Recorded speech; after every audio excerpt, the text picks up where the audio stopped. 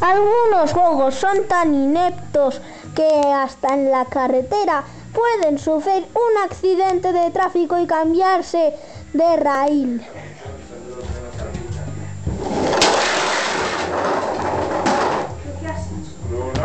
Este es un buen ejemplo de accidente.